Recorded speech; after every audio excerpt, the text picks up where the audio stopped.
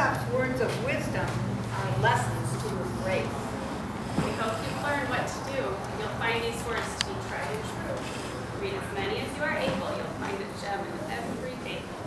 We hope you've enjoyed these stories and songs. With Aesop's good advice, you'll never go wrong. And to our dear friend Aesop, we bid you adieu. As we close,